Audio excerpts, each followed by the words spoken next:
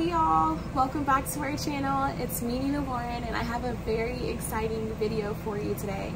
Today's video is a testimony miracle of just a few days ago when we went out evangelizing and the Lord literally dissolved four metal bullets out of a guy's back. On top of that, people were getting saved, giving their lives to the Lord, going through deliverance, walking through forgiveness, being healed of childhood traumas, like literally so many beautiful and amazing things happened. So I'm gonna go ahead and roll the clip and then I will get into the testimony. The reason why I wanna share this testimony is I want to build your faith. Like this is not about, oh, look what we did. Like we didn't do anything to be completely honest. Only the Lord could have done this. And so um, as we're going out, our hearts is just to share the good news. It's literally a commandment that's in the Bible. Go out and make disciples of all the nations, okay? And so as we go out, our hearts are just to share the love of the Father with these people who maybe will never step foot into a church unless we go out to them. So we believe in taking the church beyond the four walls. And I'm so, so excited to share this clip with you. I'm gonna share it and then we'll talk about it and then we're gonna pray for you to receive your miracle today. Bro, what just happened? Um, so I had a, I had I got four bullets on my body. Two of them was inside my stomach. You could feel you, you actually could feel two of them if you touch my back. Right. My boy right here actually prayed for me. Bro, I'm touching myself now, man. It's gone. The the metal bullets are gone. Everything is gone. gone. I can't feel nothing. I don't feel no you- type of pain in my back. And how long have you had the pain? I've been I had the bullets in my body for like the past about eight nine years. Are you serious? Serious. And actually, it didn't, it didn't even happen in America when, that when I got shot. Now, when we pulled up, did you? What'd you think? I seen y'all coming from over there. Right? What did you think? I don't know. I knew y'all was coming over here. I seen y'all coming from over there. 'cause I Boom. was, there was somebody walking right there, and I started screaming at them, and I seen y'all. I'm like, they coming over here. yeah, They actually took my boy back. yeah. And the thing about it, we didn't come here for the food. No. We didn't come here for the food. We already knew that somebody in that circle had pain. It's crazy because actually, out of all of them, him Yeah. with the yellow hat, Uh-huh. he knows mostly all like, you know, he knows mostly everything. that Right, happens. right. That's like my best friend. Wow. So that's when he's serious. So he's felt it. He's felt it before. Go He, have Go, a go, go have a feel for it. See if you can find Ricky, it. Ricky, hey. Hey. Ven, ven, ven, ven, ven, ven, ven. Eh, Juan, Juan, ¿cuáles son los que más roban? Los religiosos y los políticos. ¿Te acuerdas la bala que Si tú te vas por esa no La roba. cabeza está ahí. La cabeza está ahí. Come on, come on, Jesus. Come on, Jesus. Let's go! My God is real. He is real. We can't make this stuff up. My boy just got healed right now. These guys are about to get filled with the Holy Ghost. Let's go. Let's go. Listen, the Lord sent us out here and told us He was going to do creative miracles tonight. And He sent us out here for you, brother, and for all of you. Wow. He loves you. You guys Any last get words? filled with the Holy Ghost? Man, I just appreciate y'all, man. God bless all of y'all. You guys just keep doing your hard work. I hope not just for me, but for everybody else. And for anybody that's going on through anything, any pain, any You guys got the oil? mental health, physical health Can you bring problems. It's okay. Y'all live. God bless y'all. Thank you I hope to see you at the church one of these days, brother. I Hope to be there too. Amen. God bless you. Okay, wow. Praise God. Literally still getting chills every time I watch that because the goodness of our God is literally so overwhelming. So let's give a little bit of backstory. So I go to a local church near me. It's called Light Seekers Ministries in Palm Bay, Florida. Shout out to them. I'll actually tag their YouTube channel. If you are ever in Florida or you're in Central Florida, you have to come check us out. We recently just moved our service from the normal traditional Sunday service to the Friday night service, which has been amazing because what we've been doing is going out and evangelizing at the downtown, at the clubs and the bars afterwards. So this was our second Friday night service and we decided to go out. We started with going to a local bar near the church. There really wasn't anyone there because we honestly, we got out around like two and everything closes at two where we live. So we were just kind of like, okay, like let's just see what happens. Um, but we did meet a lady there as we were like walking around, just trying to figure out what's going on. Um, she comes up to us and she asks if we have a cigarette and we're just like no we don't have a cigarette. And we had waters and stuff that we were handing out so we're like would you like water? And we were like we have something better. So we ended up like asking her if she needs prayer praying over her sharing the gospel with her. She gives her life to the lord. My pastor prays for her to be filled with the holy spirit she just leaves super encouraged and God is so, so good. Obviously, we invite these people back to the church so they can come and be discipled. So that's really powerful and amazing. Um, but really there wasn't anyone there so we decided we're gonna go from there we're gonna go to downtown and so of course all of the bars and clubs are closed but we know that there's still gonna people gonna be people down there because we did this last week and there was just like this four random people that we ran into. So this time we end up parking in a parking garage of a hotel. And um, we come out and we immediately see like this vacant lot and it has like a little food truck and it has this like table of like seven or eight guys and they're um they're just like hanging out. And so as we're walking up like we can see like they're in each other's faces like they're a little rowdy you know? So we're kind of just like okay holy spirit like like is this a good situation to walk up on because um, like walking up on drunk men at three o'clock in the morning is you know not always the safest thing um, but our pastor actually had a word of knowledge that someone there had pain in their body. And so um, we decided to approach them and uh, we let the the guys let the girls kind of go up. My pastor and our good friend Heather uh, went up and said, hey, does anyone have pain in their body? And uh, one of the guys was like, I do, you know, have pain in my back. And uh, our pastor Desiree was like, um, well, you know, can we pray for you? The Lord wants to heal you today. And he was like confused. He's like, but I have a beer in my hand. And she was like, it doesn't matter. Like the Lord wants to show you his love and he's going to heal you regardless because he loves you. And, and she basically explained to him like, the behavior will change, but he just wants to show you that he loves you, he's called you, that he's here for you, and he's going to heal you tonight, despite your sin, despite who you are. It was this beautiful, beautiful uh, transaction that happened. And so um, he agrees to prayer. We all circle him and just, you know, lay our hands on him. We're praying healing over his back. He starts to say, yo, I feel fire in my back. I feel fire in my back. And he's like super excited and we're just like praise god you know so we kind of break off from there and everyone's kind of ministering to each of these guys um, there's about five of us and like seven of them and two of them are sitting off in the corner so we're like five on five right now and so I'm still ministering to this guy, just kind of talking to him. And um, I decided to ask him how his back felt, if he had gotten healed. And he says, yeah, I don't feel the pain, but it's going to come back. And I was just kind of like, what do you mean by that? And now fast forward to just two days before, uh, the Lord had been sharing with us that we were going to see creative miracles happen on this night. And so I'm like, all right, I'm ready to see limbs grow. So I'm like looking at his legs. I'm like, are your legs uneven? And he's like, no, no, no, my legs are fine. And then he, he kind of like points to his back, lifts up his shirt a little bit. And he's like, um, nine years ago, I was actually shot. And I have four bullets that, four metal bullets that are still in my bag.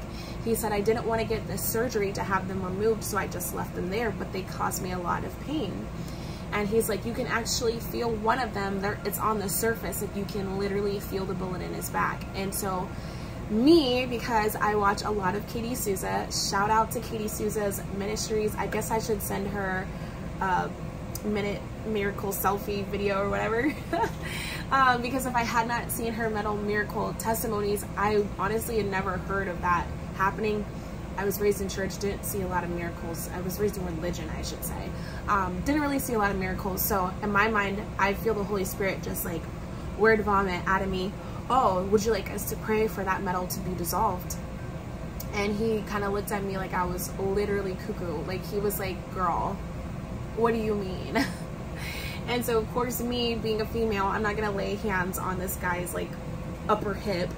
Um, and so I call my husband over and he's pacing, not realizing he's getting a word of knowledge for someone who isn't even there yet, who's about to come down. That's a whole nother story. Very powerful. I'll have him hop on and share that and we'll release that this week. Um, But anyways, so I call my husband over. I'm like, hey babe, let's lay hands on him and let's pray for God to dissolve these bullets. And I'm like, do you believe that God can do it? And he's like, honestly, no, but y'all can still pray for me. And so um, at this point, I look at him in the eyes and I'm like, I've seen it happen before. So even though I never, hey baby, I never really saw like in person, I had seen so many testimonies of people's metals being dissolved. Um, and so I was just like, I'm not the healer, like the Lord is. And so my husband and I begin to pray for this young man. And um, my husband prays, I pray, my husband prays again. And as my husband's praying the third time, he feels just this power of the Lord just being released out of his hands into this guy's back. And then he feels a release in the spirit.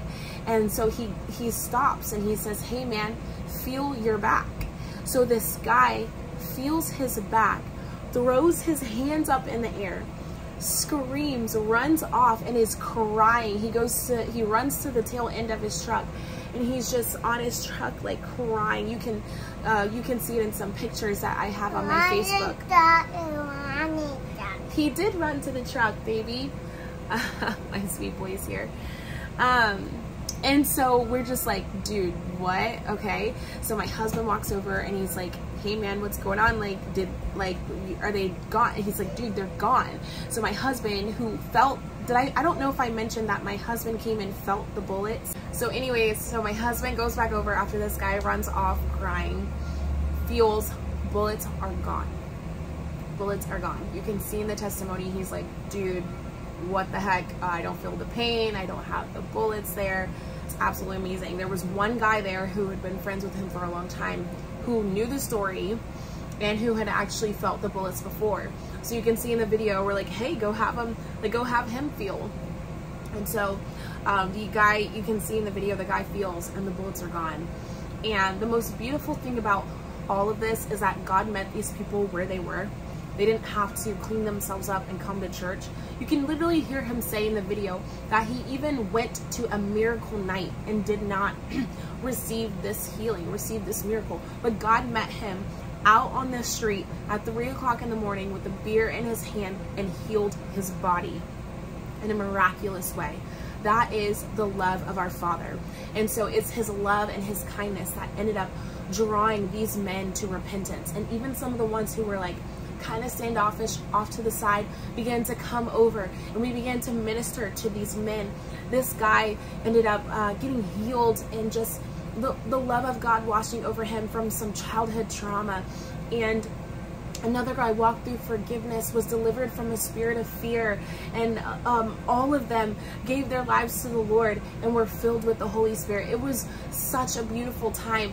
And uh, some of them really had their walls up. Some of them really did. They were just kind of like, who are these crazy people coming up to us on the street at 3 o'clock in the morning? As we're literally like rowdy and arguing. And it was literally just the love of God meeting them there that night and once the miracle happened, everyone's walls fell down and these men were able to receive. And the beautiful thing about our ministry, that's why I honor my pastors Pastor Nate and Desiree Carter um, is because now these people, instead of going out to the clubs and the bars on Friday night, next Friday, they can come to our church service where we literally turn up. Like, go watch my shorts, y'all. We go and it is so powerful, such a great time. And so now these men can begin to hop in our discipleship classes and um, really begin to have their lives transformed. And that's going to be a story that he tells for the glory of God for the rest of his life life. He will never forget how Jesus met him where he was and healed his body miraculously in a moment. And that is the power of our God. And so I pray that this inspires your faith. I pray that it helps you to know that you don't have to be perfect. God is not looking for perfect people in his grace he perfects us okay? And so we simply believe on the, the name of jesus and make him lord of our lives and walk in obedience to him okay? He is perfect. We look to the perfect one. You don't have to have it all together to receive healing in your body. I believe that as the Lord heals your body today, that you are going to begin to also experience the freedom that comes from making Jesus your Lord and Savior. And so I want to pray those two things for you today. So if you need healing in your body, And if you would like to give your life to the Lord Jesus Christ and be filled with his Holy Spirit, then let's go ahead and do that. Now, for some of you, you can feel the presence of God right now. You can feel this tug on your heart, this burning in your stomach. God says, if you if you hear me knock, I want to read it. It's in Revelation. It says, if you hear me knock, harden not your heart. No, there's one in Revelation. There's also one in Psalms and it's in Hebrews. Let's see if I can find it. Oh, hallelujah. Okay. I don't have it bookmarked. But the Lord God says, if you hear me knock this day, harden not your heart. So I just pray that you would not harden your heart to that knock. Listen, my friends, today is the day for salvation. Today is the day of salvation. Today, the Lord God has his arms stretched out. They're always stretched out to you. But in this moment, he's saying, Come, my child. I have been calling you. And I believe that as he heals your body today, it's the kindness of God, the grace of God for him to heal you that's going to lead your heart into repentance. Okay, so let's pray. So wherever you need healing in your body, I want to challenge you to take your hand, place it on that, that part. If it's your mind, if it's mental battles, I want you to place it on your mind. If it's your womb, if it's uh, a tumor, if it's a broken bone, whatever it is, I want you to place your hand on that area and believe by faith today that the Lord God is going to meet you now just like he did for that gentleman and just like he has time and time and time and time and time again because he is faithful and he is our healer. Okay, so place your hand on that place of pain and Heavenly Father, we honor you. We honor you, Lord. We thank you, Abba, that you are good, that you are faithful, that you are the Lord God Jehovah Rapha, our healer, that you came down in the form of Jesus Christ and died on the cross, took our pain, our diseases, our infirmities, our afflictions, our sicknesses. You took it all, our curses, you took it all on your body so that we could receive healing. I, I decree and declare over this son and daughter that healing is their portion I pray, Lord, that you would meet them where they are, that you would release your healing power to them now in the name of Jesus. We speak healing to that area in your mind, he healing to that broken bone, healing right now to that tumor. I command it to shrink in the name of Jesus. I feel the power of God right now. Lord, I just thank you that as you're healing their bodies, that you're also pouring out the love of God. Let them receive the love of God for all of the inner wounds, Lord it says that you bind up the wounds of the brokenhearted. So where they're wounded, where they have trauma, where they have hurt, where they've been abused, Lord, I just pray that the love of God would go into those soul wounds and begin to heal them and restore them. And your word says that we prosper and are in health as our soul prospers. So as you heal those inner wounds of their inner man, Lord, I thank you that you're also healing their body. And Lord, where there may be sickness, we cancel every diagnosis, we cancel every word curse. We cancel every generational curse. We sever them off the bloodline of generational curses. We sever them off of every contract with their name on it and and every word every uh what is it when the doctor gives you a um diagnosis. We cancel every diagnosis. We cancel every word curse spoken over them.